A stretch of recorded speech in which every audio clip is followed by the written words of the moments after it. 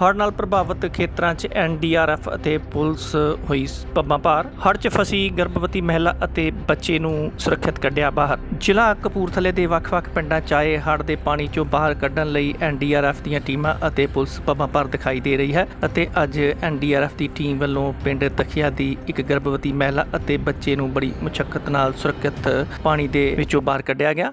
ਸੁਰਿੰਦਰ ਸਿੰਘ ਮੈਂ ਗੱਟਾ ਮੰਡੀ ਕਾਸੂ ਪਿੰਡ ਤੱਕਾਵਤੀ ਦੇ ਰਹਿਣ ਵਾਲਾ। ਮੈਂ ਤਾਂ ਇਹ ਕਹਿਣਾ ਕਰਨਾ ਵੀ ਪ੍ਰਸ਼ਾਸਨ ਦਾ ਬਹੁਤ ਧੰਨਵਾਦ ਜਿਹੜਾ ਸਾਨੂੰ ਰੈਸਕਿਊ ਕੀਤਾ ਤੇ ਬਹੁਤ ਬਹੁਤ ਇਹਨਾਂ ਸਾਰੇ ਮੁਲਾਜ਼ਮਾਂ ਦਾ ਬਹੁਤ ਧੰਨਵਾਦ। ਅਸੀਂ ਮੌਤ ਤੇ ਜ਼ਿੰਦਗੀ ਦੇ ਵਿੱਚ ਇਸ ਟਾਈਮ ਲੜਾਈ ਲੜ ਰਹੇ ਸੀ। ਔਰ ਉੱਥੇ ਹਾਲੇ ਵੀ 80 ਤੋਂ 90 ਲੋਕ ਜਿਹੜੇ ਫਸੇ ਹੋਏ ਆ। ਤੇ ਅਸੀਂ ਸਾਰੇ ਪ੍ਰਸ਼ਾਸਨ ਦਾ ਬਹੁਤ ਬਹੁਤ ਧੰਨਵਾਦ ਕਰਦੇ ਹਾਂ। ਅੱਜ ਕੱਲ ਗੱਲ ਕਰੀਏ, ਕਿੰਨੇ ਕੁ ਵਜੇ ਪਾਣੀ ਉੱਥੇ ਆਉਂਦਾ ਹੈ? ਤੁਹਾਨੂੰ ਪਤਾ ਨਹੀਂ ਲੱਗ ਪਾਇਆ ਇਹਦੇ ਬਾਰੇ। ਪਾਣੀ ਜੀ ਰਾਤ ਨੂੰ 7-8 ਵਜੇ ਚੜਨ ਲੱਗਾ ਜੀ। ਤੇ ਜਿੱਦਾਂ ਮੰਨ ਲੈ ਅਸੀਂ ਉੱਥੇ ਸਾਰੇ ਮਿਹਨਤ ਮਜ਼ਦੂਰੀ ਵਾਲੇ ਬੈਠੇ ਨਾਲ ਦੇ ਪਿੰਡਾਂ 'ਚ ਜਿਹੜੇ ਜ਼ਿਮੀਂਦਾਰ ਆ ਉਹਨਾਂ ਦੇ ਕੁਝ ਰਿਸ਼ਤੇਦਾਰ ਕੁਝ ਉਹਨਾਂ ਦੇ ਆਪਦੀ ਟਰਾਲੀਆਂ ਸਾਧਨ ਹੈਗੇ ਜਿਹੜੇ ਕਿ ਉਹਨਾਂ ਤੇ ਉਹ ਆਪਣਾ ਸਮਾਨ ਲੱਦ ਕੇ ਲੈ ਗਏ। ਔਰ ਜਿਹੜੇ ਮਿਹਨਤ ਮਜ਼ਦੂਰੀ ਵਾਲੇ ਉਹਨਾਂ ਕੋਲ ਕੋਈ ਸਾਧਨ ਨਹੀਂ ਸੀ।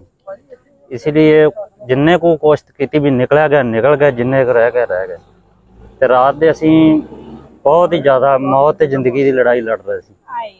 ਜੇਕਰ ਗੱਲ ਕਰੀਏ ਪ੍ਰਸ਼ਾਸਨ ਤਿੰਨ ਦਿਨਾਂ ਤੋਂ ਅਨਾਉਂਸਮੈਂਟ ਕਰਾ ਰਿਹਾ ਹੈ ਮਨਾਦੀ ਕਰਾ ਰਿਹਾ ਹੈ ਗੁਰੂ ਘਰਾਂ ਦੇ ਵਿੱਚ ਕਿ ਸੁਰੱਖਿਅਤ ਥਾਵਾਂ ਤੇ ਆ ਜਾਓ ਪਿੰਡਾਂ ਦੇ ਨਾਮ ਵੀ ਅਨਾਉਂਸ ਹੋਏ। ਤੁਸੀਂ ਕਿਉਂ ਨਹੀਂ ਨਿਕਲ ਪਾਏ ਬਾਹਰ ਉਦੋਂ? ਸਰ ਜੀ ਇਹ ਮਜਬੂਰੀ ਹੈ ਵੀ ਅਸੀਂ ਸਾਧਨਾਂ ਤੋਂ ਬਸ ਵਾਂਝੇ ਰਹਿ ਜਾਂਦੇ ਜੀ।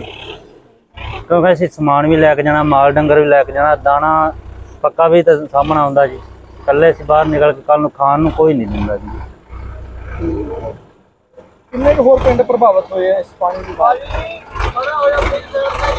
ਪ੍ਰਾਪਤ ਜੀ ਘੱਟ ਤੋਂ ਘੱਟ ਵੀ 80 90 ਲੋਕ ਜਿਹੜੇ ਅਹ, ਅਸੀਂ ਸੌਰੀ 80 90 ਪਿੰਡ ਜਿਹੜੇ ਪ੍ਰਾਪਤ ਹੋਇਆ ਸਤਲੁਜ ਦਰਿਆ ਦੇ ਮਾਰ ਹੇਠਾਂ। ਹੁਣ ਪ੍ਰਸ਼ਾਸਨ ਨੇ ਤੁਹਾਨੂੰ ਐਸਡੀਆਰਐਫ ਦੀ ਮਦਦ ਦੇ ਨਾਲ ਬਾਹਰ ਕੱਢਿਆ ਹੈ। ਕਿਵੇਂ ਦੇਖਦੇ ਹੋ ਇਸ ਪ੍ਰੋਬਲਮ ਬਹੁਤ ਵਧੀਆ ਉਪਰਾਲਾ ਜੀ ਬਹੁਤ ਵਧੀਆ। ਬਹੁਤ ਬਹੁਤ ਧੰਨਵਾਦ ਇਹਨਾਂ ਪ੍ਰਸ਼ਾਸਨ ਦਾ।